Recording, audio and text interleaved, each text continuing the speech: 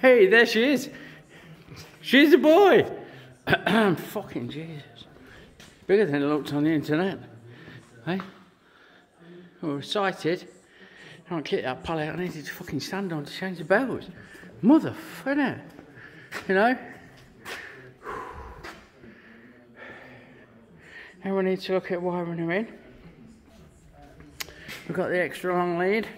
Extra long leadage. We're going to take the uh, cap off. Take the socket off. Because we ain't got a plug.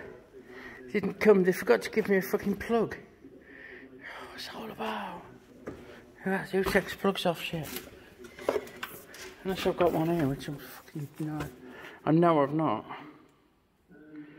Yeah, there you go. So, I'm going to uh,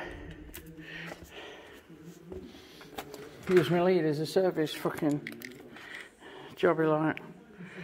I'm coming to wire this three meter fucking three phase lead in. It's all wired in there, so I've just got to copy it. It's fucking happy days, that is. That's uh, one less thing to have to worry about. She's a fucking beast.